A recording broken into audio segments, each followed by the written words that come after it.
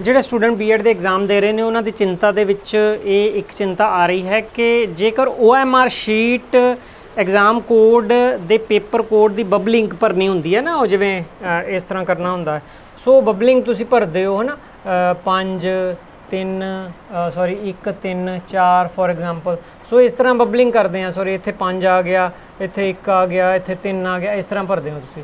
ਉਹ ਜੇ ਗਲਤ ਹੋ ਗਈ ਦੇਖੋ ਇਹ ਇਹ ਕੋਈ ਵੀ ਚਿੰਤਾ ਵਾਲੀ ਗੱਲ ਨਹੀਂ ਹੈ 99.9% ਜਦ ਤੱਕ ਕੇਸ ਕੋਈ ਸੀਰੀਅਸ ਨਹੀਂ ਹੁੰਦਾ ਇਨਵੈਸਟੀਗੇਸ਼ਨ ਨਹੀਂ ਹੁੰਦੀ ਨਾਰਮਲੀ ਬੰਡਲ ਜਾਂਦੇ ਹਨ ਉਹਨਾਂ ਦੀ ਡਿਵੀਜ਼ਨ 25 ਵਿੱਚ ਕੱਟ ਹੋ ਜਾਂਦੀ ਹੈ। ਜਦੋਂ ਤੁਹਾਡੇ ਮੰਨ ਲਓ 50 ਅ, 100 ਤੁਹਾਡੇ ਪੇਪਰ ਗਏ ਹੈ ਉਹ ਸੀਕ੍ਰੇਸੀ ਵਿੱਚ ਜਾਂਦੇ ਨੇ ਸੀਕ੍ਰੇਸੀ 'ਚ ਜਾ ਕੇ ਉਹਨਾਂ ਦੇ ਸਿਰਫ ਇੱਕੋ ਹੀ ਕੰਮ ਹੁੰਦਾ ਹੈ ਉਹਨੂੰ 25 25 25 25 ਵਿੱਚ ਡਿਵਾਈਡ ਕਰ ਦਿੱਤਾ ਜਾਂਦਾ ਹੈ ਔਰ ਬਾਹਰ ਲਗ- ਲਿਖ ਦਿੱਤਾ ਜਾਂਦਾ ਹੈ ਕਿ ਇਹ ਕਿਹੜਾ ਪੇਪਰ ਹੈ।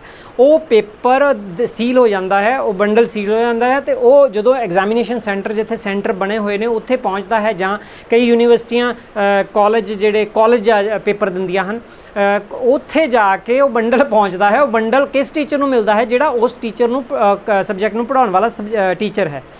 ਸੋ ਉਸ ਤੋਂ ਬਾਅਦ ਕੋਈ ਲੈਣਾ ਦੇਣਾ ਨਹੀਂ ਹੁੰਦਾ ਉਸ ਨੇ ਉਹ ਸਾਰੇ ਪੇਪਰ ਦੇਖਣੇ ਹਨ, ਜੇ ਕਿਸੇ ਟੀਚਰ ਨੂੰ ਦੁਵਿਧਾ ਲੱਗਦੀ ਹੈ ਤੇ ਉਹ ਵੈਰੀਫਾਈ ਕਰ ਲੈਂਦਾ ਹੈ। ਨਾਰਮਲੀ ਅਜਿਹੇ ਝੰਜਟ 'ਚ ਕੋਈ ਵੀ ਨਹੀਂ ਪੈਂਦਾ ਔਰ ਤੁਹਾਡਾ ਜਿਹੜਾ ਹੈ ਰਿਜ਼ਲਟ ਹੈ ਮਾਰਕਸ ਹੈ, ਉਸੇ ਤਰ੍ਹਾਂ ਚੜ ਜਾਂਦੇ ਹੈ, ਆ ਜਾਂਦਾ ਹੈ। ਇਸ ਲਈ ਡਰਨ ਵਾਲੀ ਕੋਈ ਗੱਲ ਨਹੀਂ ਹੈ। ਆਰਾਮ ਨਾਲ ਖਾਣਾ ਖਾਓ, ਸੌਵੋ ਤੇ ਜਿਹੜਾ ਕੰਮ ਕਰਨਾ ਹੈ ਉਹ ਕਰੋ।